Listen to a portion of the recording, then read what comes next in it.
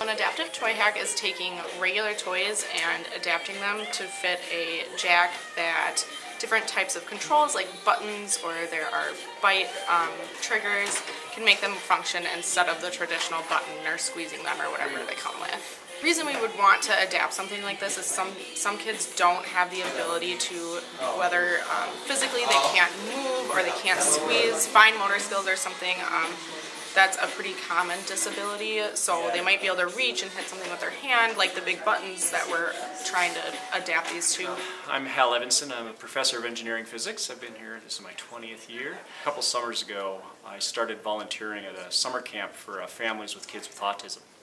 And so I kind of got direct experience with families with kids with special needs, and what motivated that, honestly, was my nephew. Uh, my sister's son, they live in LA. I would see him once every three or four years, and I'd be clueless when I met him. So I wanted to learn more. So I did that.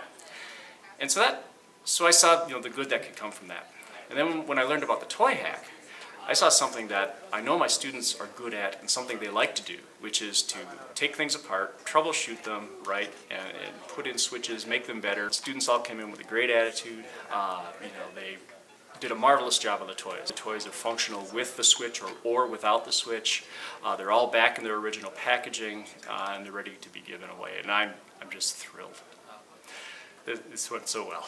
Yeah. When my tummy turns red, say something and I'll sing it back. Get ready. Toy Hackathon is a success.